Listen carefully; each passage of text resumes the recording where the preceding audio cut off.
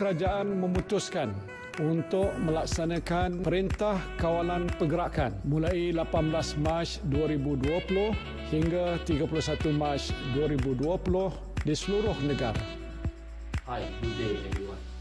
As you probably have known that our Malaysian government has started to implement two weeks partial lockdown in the country uh, since our coronavirus cases in the country has spiked to the highest in Southeast Asia.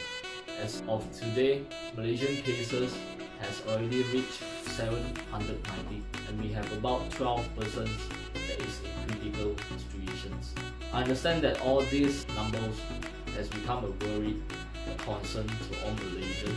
That is why the government is taking the actions control policies and restrictions. Without having this action being taken, our government believes that the number will continue to grow over time, maybe in a week, a month or so. So we are very happy to share you some tips here how to keep ourselves hygiene all the time, vigilance.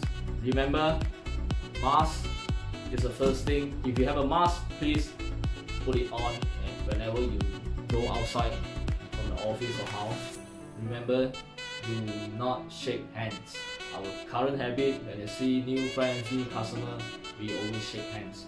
Next, we have to stay home, stay indoor as always. Wash your hand frequently. If you have a sanitizer with you, bring a small one with you. Keep yourself sanitized all time. Then, please keep yourself a distance avoid close contact with sick people especially. I hope that all these tips will be useful to you. Everyone, you have to do your part. Please stay safe, stay clean, hygiene, and take care of yourself and your family. Thank you.